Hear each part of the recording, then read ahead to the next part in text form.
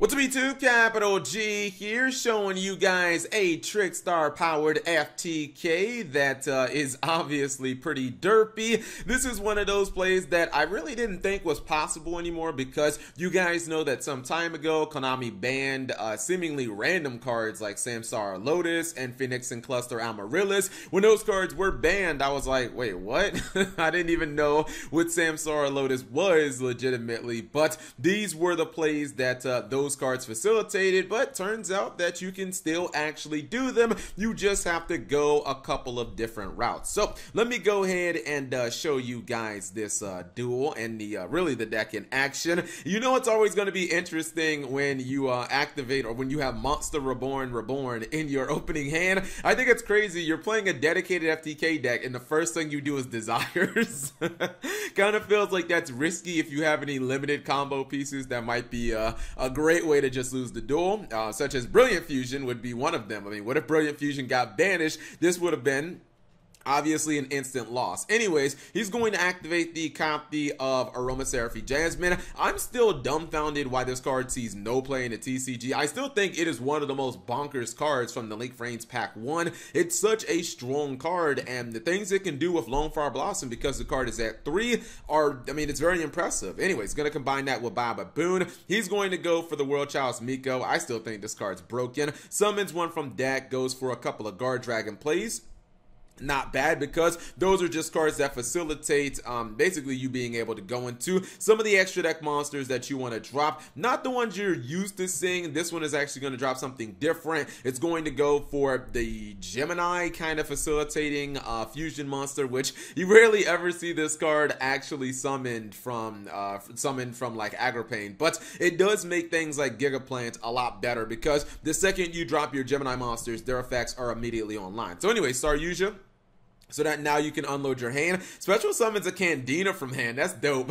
then gonna go for Trickstar Lilybell. So the reason you have to use the Trickstars, the reason that he did that is because you do obviously have to summon Trickstar Catbat. This is part of the um it's part of the infinite loop. And this used to be used again with cards like Samsara Lotus and Phoenixian, Cluster Amaryllis, but you can still actually pull it off with a very obscure synchro monster. Anyway, summons Lonefire Blossom now can go into Gigaplant. Since he does have the ally on field, this means that the uh, Gigaplant is automatically turned on, so he can just constantly reborn his monsters. And now another part of the combo is you do have to make sure that you go for Knightmare Cerberus because you are eventually going to make Topologic Bomber Dragon and you're going to be nuking your field over and over again, but you don't want the catbat and you don't want the Cerberus dying. Like definitely you don't want the catbat dying. So this is the way to basically protect it is to link it to uh, co-link it with Knightmare Cerberus. Thus, it cannot be destroyed by the Topologic Bomber Dragon. So this is actually, well, it went so fast. There you go.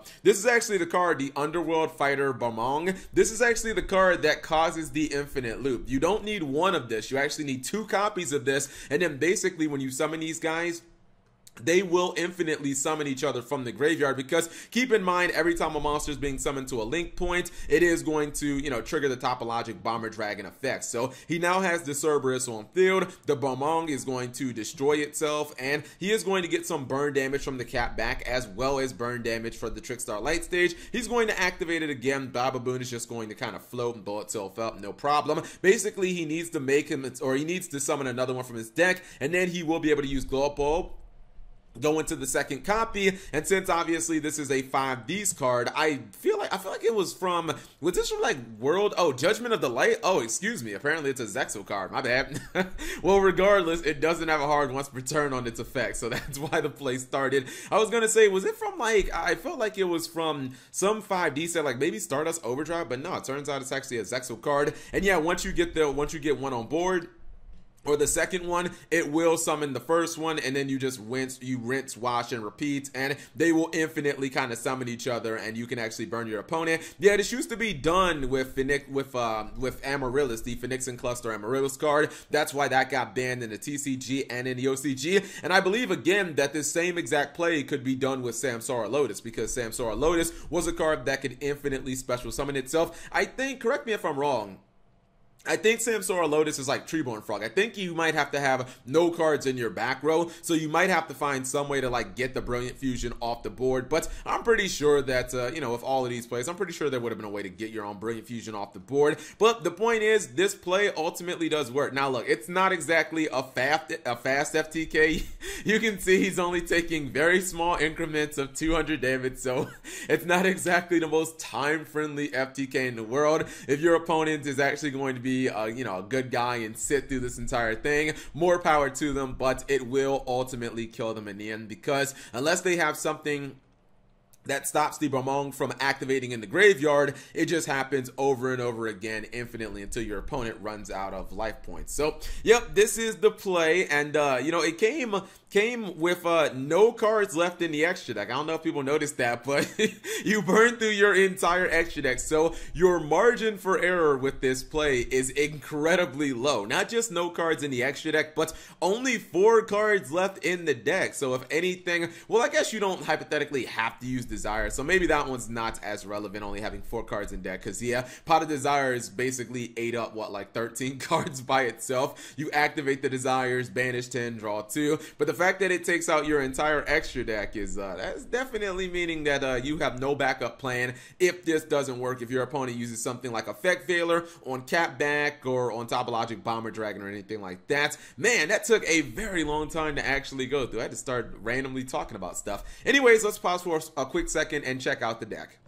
Alright, so here's what the deck looks like on paper, you degenerates. And uh, man, Trickstars are, is it me or is uh, Candina just becoming more and more prominent of a card? It's just such a powerful card, being a Stratos for the entire Trickstar archetype, the spells, the traps, everything. As long as you normal summon her, you are getting them pluses. Now, I think that it makes sense for Lilybell to be the other Trickstar card in here. I guess hypothetically, you could run Carobein, but uh, Lilybell makes more sense because if you just activate the Trickstar Light stage, she's the only one that can just guarantee she can kind of drop herself on the field from your hand by her special summon ability. And you need at least two Trickstar monsters to, you know, summon the catbat. So you're going to have to run some Trickstar cards. Everything else are, you know, basically just combo pieces. You're running a whole bunch of plants because all of these cards facilitate Brilliant Fusion and Aromaseraphy Jasmine. Also pretty strong cards for link climbing. And you also have the Giga Plant, so you're going to be able to use that as well. Everything else, just spell cards you saw during the duel. Whole lot of different Monster Reborn cards, whether it be World Legacy Succession, Monster Reborn Reborn, which is excellent with like the plant cards. Really good with uh, Lone Fire Blossom because once you use one Lone Fire Blossom, you're getting all three of them in the graveyard immediately. And then even something like Living Fossil, just, you know, a card that summons back something from the graveyard. So, so many different Monster Reborns. Of course, the original OG Monster Reborn. You're not running traps because this is an FTK. If you don't win turn one, you are going to lose the duel. And, you know, as long as we still have things like Red Metal, Darkness, Dragon, and uh, some of these other powerful cards like Saryuja Skull Dread, kind of feel like plays like this will be around. No dangers even required to pull off these spicy FTKs, just requires a very vivid imagination. Anyways, hopefully you guys enjoyed the short duel. If you did, give the video a thumbs up. Thank you guys for watching. As always, subscribe if you have not already, and turn on that notification bell for daily videos.